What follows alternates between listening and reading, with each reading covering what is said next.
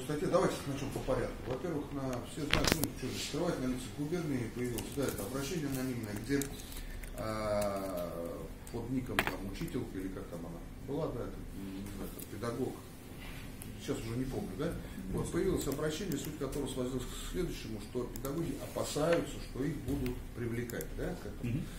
Соответственно, я буквально через несколько, там, если вы обратили внимание по времени, да, буквально через несколько минут, э, час даже не прошло, опубликовала ну, свой комментарий.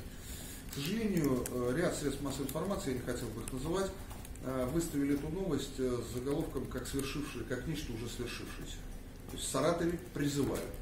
Если наши средства массовой информации саратовские написали, что пишут, да, то, допустим, такой как знак, ну, я федеральный, да, сейчас, они уже написали, как свершившееся. В Саратове принуждают учителей.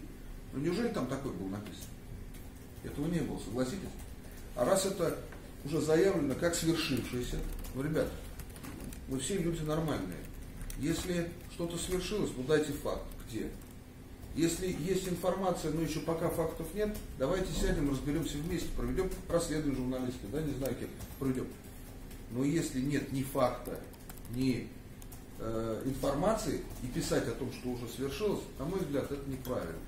Кто может повлиять на это на мой взгляд, безобразие. Повлиять на это может структура, которая обладает определенными полномочиями. Это в сфере надзора за средством массовой информации. А, это прежде всего Роскомнадзор и прокуратура а, Саратовской области. Значит, что касается обращения, самого обращения, здесь проверка не в плане того, кто, кто написал, что он написал. Может, действительно человек крик души, я не знаю. А вот если его действительно принуждают, если такой факт есть, прокуратура, я считаю, должна вмешаться, проверить.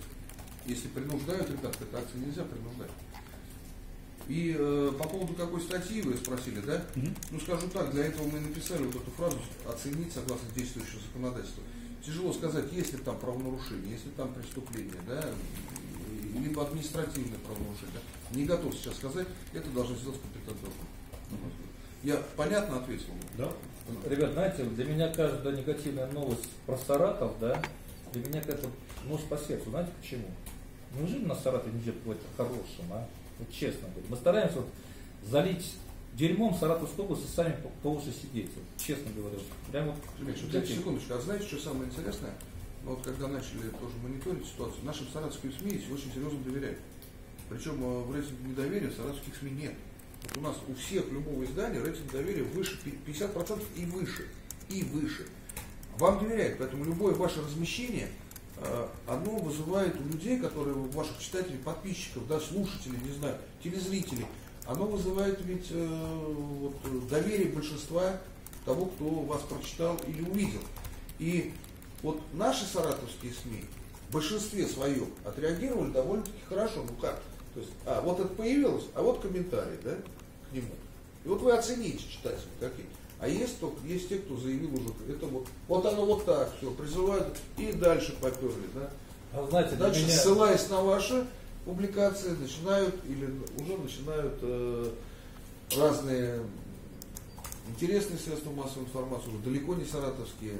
Э, сегодня уже комментировал какой-то там журналист, а вот там призывают уже как совершившийся факт. Хотя на самом деле никто не знает, что это за женщина, кто это написал. Из Саратова ли она вообще, вообще женщина, да? и вообще ли женщина ли это, да. То есть, поэтому здесь, конечно, нужно провести правильно. Вы знаете, для меня, когда вы подписывают люди анонимные обращения какие-то, подписывают комментарии, для меня это подлость. Да не, ради бога. Нет, я, честно говоря, подлость, это то, значит, человек какой-то чего-то боится, человек с комплексами какими-то. Вот если... Это ваш личный мнение. Да, конечно, а почему бы нет? Я готов поделиться, потому что я журналист, всех знаю, и отношусь к ним очень хорошо. Если ты скажи, например, что ты нехороший человек, скажи ему в лицо открыто, а подписываться под неким ником, скажу, блядь, это, наверное, подлость, это малодушие, это ну, грязь, честно говоря.